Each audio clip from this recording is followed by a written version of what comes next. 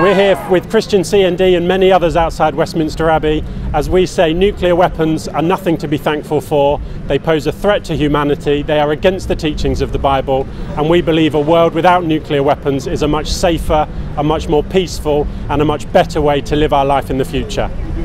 Amen. Hello, I'm John. I'm director of the Fellowship of Reconciliation, and we're stood here with many different peace groups to say the church is a place of beauty. It should be worshipping peace, not worshipping at the altar of war and mass destruction. We're here to show that Christians of all shapes, sizes, flavours, and theologies believe the Prince of Peace is the one we worship.